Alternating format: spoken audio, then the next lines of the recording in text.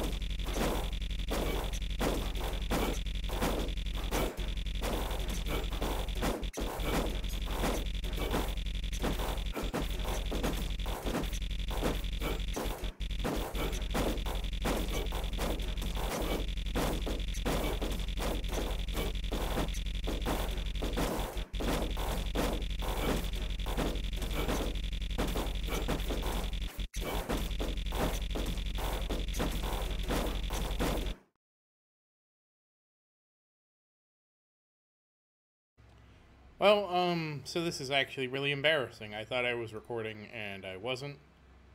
So I actually lost all of the footage from today because I just didn't record it. that said, I guess I'll just stuff some footage from another day in here and just like say at the end, like, hey, uh, I forgot to record. I threw in some old footage. Uh, did you notice? And uh, yeah, so this was a fake King's Ruins video. Obviously, if you're paying attention, the times probably won't line up. So, whatever. I mean, what can I do? I can't undo King's Ruins and do it again. Uh, damn. We can at least look at the damage meters. Oh, Christian, what happened? You got beat by Austin. Austin didn't even get any special things. Christian, what's going on? I gave you the special ring. I gave you the special book. And what does Austin have? He has nothing. Yeah, what can you do? RNG is RNG, right? Well, once again, thank you for watching. Please like and subscribe to support the channel. If you have any questions, please say something in the comments. I do always look forward to your questions. And as always, thank you again. I hope you have a great day.